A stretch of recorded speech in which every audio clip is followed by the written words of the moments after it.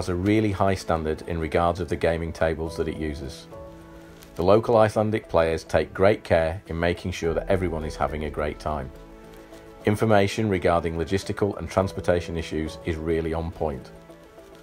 The local players and organisers try their utmost to make sure everybody feels welcome and that everybody is enjoying themselves at the event. On Saturday evening, there is a big mega battle. The two leading players from the Allied and Axis sides take charge of the two armies. The big battle took place somewhere in the western part of the North African desert.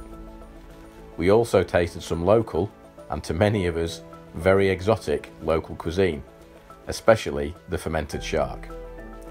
If you have ever thought about travelling abroad to participate in a tournament, then Polar Bear is definitely a place worth visiting.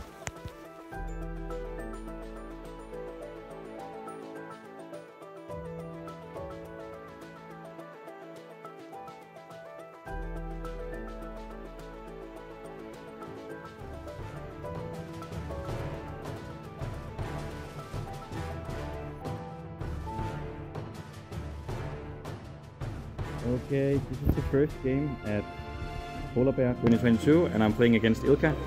Say hello.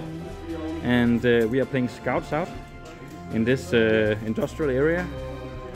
And we are playing a Bagration uh, kind of themed mission uh, and tournament. And Ilka is placed down here with us dirty Russians. They're quite nice actually. And um, this is the first turn and he has opted to move out some of his T70s here. Um, I think it's gonna end up in a draw, but we'll see. Okay, it's turn two, and um, Ilka has managed to range in on his first attempt here and hit my um, command to SE stand that was here and this stand here. But uh, I made my saves, and then on some lucky dice roll, I hit a five and uh, hit his 122 up there and destroyed it. And Ilka has moved up his scouts here, probing slightly towards this objective here. So that's it, turn three. We are in turn five actually right now. Um, forgot to film a few rounds, but um, Ilka just got his uh, reserves in. And uh, there's been a, a bit of a firefight over here near my objective and I've killed two T70s in the past in the last round. And now Ilka got all of his reserves on the table and he just got these IS-22s in. And uh, I got my infantry in over here that's gonna push for the objective. And yeah, I seriously think it's gonna end in a draw. We have one and a half hour left. We'll see. So it's turn six for the Fallschirmjägers and uh, I had uh, some very good shooting and perhaps some lucky dice with my elephant. I had two fives here and managed to hit and kill and bail one of it on 22s and assault some guys up here and hammer them with a machine gun fire.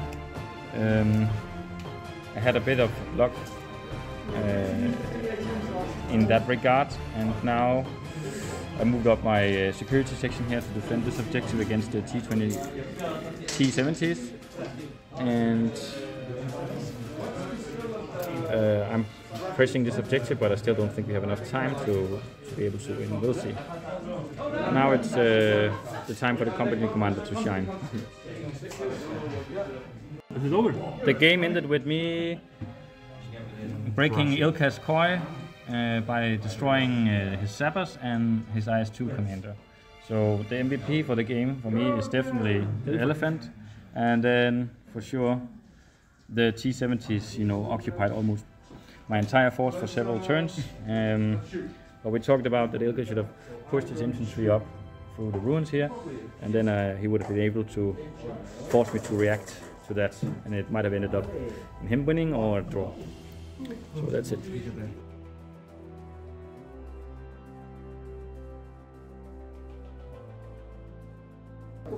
So at the second game at Polar Bear, I'm playing against my good mate Richard from Scotland.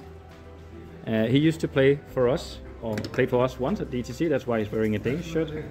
Um, we both picked attack, and uh, we needed to uh, roll off to see who was the attacker and the defender. And luckily, I won the roll off, so I'm attacking. And uh, first we rolled for dust up, but Richard had already played that one, so we just decided on playing another one, so we rolled and got Breakthrough. Um, and we are playing on this lovely table that Søren has built. Um, and we're playing a 90 point game right now. Uh, it's like an escalation campaign here at Polar Bear. So um, I've opted to have my T34s and my T28s in reserve to come in from here as a delayed reserve. And Richard has opted to have his 50mm guns in ambush and his IS-2s in reserve. So let's see how it goes. This shirt means so much to me that I was asked to play for Denmark. So I just wanted to say thanks to Christian and the guys for um, inviting me to play in Novi Sad because uh, this is the best shirt that I ever that I own.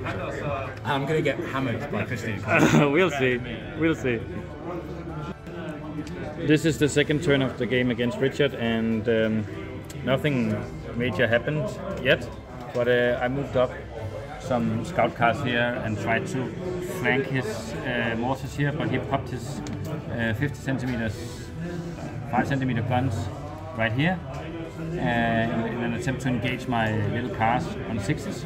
Richard rolled 10 dice and should have get 1.4 dice of sixes, worth of sixes, but he didn't hit anything, which was unfortunate. And uh, I bombarded some of his infantry here at the edge of the forest and um, managed to destroy one stand and a, and a gun. And over here in the second platoon, I also destroyed one stand. And uh, Richard rolled for reserves twice now, but haven't received anything. Um, so slow but steady, but I think the game will explode at some point and just uh, be a true killing ground. Okay, turn four. Um, I pushed up here in the middle, and me and Richard have had a little uh, forest fight over here. He got up his armored infantry. I assaulted my infantry up here, killed my recce. My uh, infantry ran away, but they're still on the table. And we consolidated into the woods. Uh, Richard has still occupied the forest right here. His recce is up here, guarding the objective. Uh, there's platoon here, mortars, and now I received my T-28 and uh, we'll see what happens. At the end of the game, it was really tight, and uh, the MVP were the Svesta T28. Um, but we had a really good game, and Richard was fair sport all the way through. I still, I still think I still think And uh, he managed to uh, squeeze out a 6-3, and I was on the ropes. And uh, when I start to be silent, it's it's it's my telling that uh, I'm, I'm, I'm stressed. It's so, yeah. so it's a tell. So if I'm I'm quiet, I uh, I have to focus. All the all the brain power is being used. All the brain power is being used. So we had a great game on this magnificent table in the second game at the Polar Bear. So uh, happy days, guys.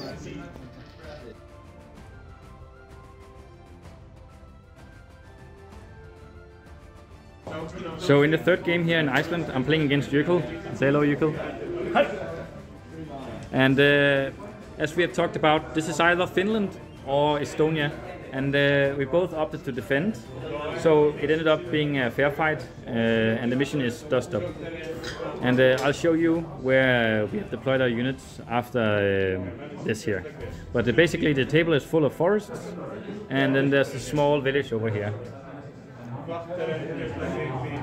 So in turn one, basically nothing happened. I just moved up my um, T-34s up here, and then you could bombard down here and pin some men that are unpinned, and I moved up some um, my tanks over here.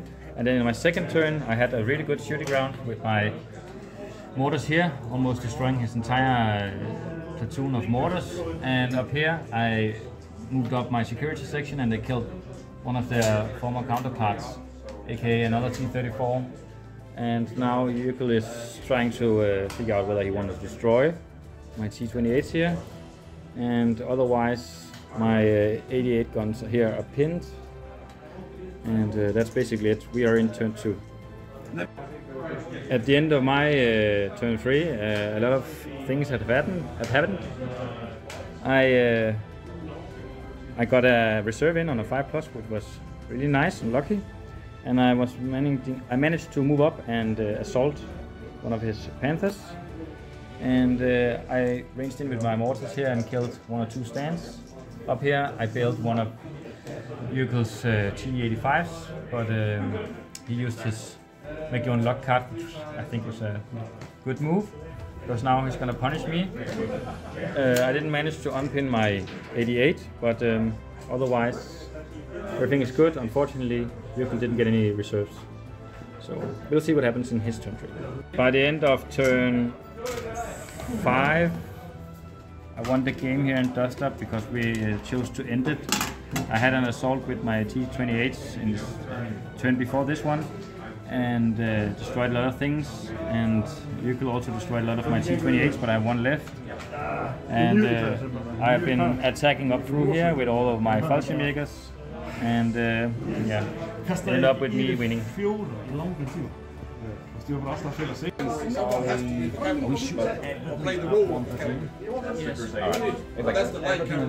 obviously we're taking the turn to do one, one thing after the other, but I think why we shoot everyone until it's on. So, first game on the second day is 75 points, and I'm playing the mission counterattack against Søren. Say hello, Søren. Hi, everybody. And Morten also. um, we are to um, um, to attack against Søren in counterattack, and it's the first turn. I just moved up and assaulted some um, mortars over here. There's one objective there, and then underneath the tray here, there is some um, another objective as well. And Søren has some mortars and uh, his chief, and uh, some IS2s in reserve. Um, he just popped an ambush now with infantry. Most likely gonna hammer me with uh, machine gun fire. Um, I spearheaded up my recce here and um, moved up my infantry here. And then afterwards in turn one I moved the recce a little bit, shoved them around. My elephant is located here on the hill in uh, overwatch position. And then I have my um, tanks up here. So uh, let's see what happens. In Søren's turn one, he uh, shuffled his panthers in this direction towards this objective, and he popped an ambush with some infantry and tried to assault um, first of all up here. But I uh, won the assault. I shot some and killed one stand. And over here he tried to assault me here, but uh, with nine dice I got five hits and repelled the assault. Unfortunately, he rolled a lot of ones and twos, and uh, now it's my turn two. In my second turn, I moved up and engaged some of the infantry with an assault here, supported by MG fire from the T28s. Shuffle up my recon that engaged the infantry over here and killed two stands, or one stand. And then my infantry have just moved up, tried to do a follow me, but didn't make it, and there's an objective over here. Now Søren's second turn, he has two dice for reserves. Let's see what happens. In my turn three, I um, managed to keep my um, Fearless T28 on the table. I shuffle up my T34s in this direction. Uh, up here I did assault with one stand against his infantry and they fled.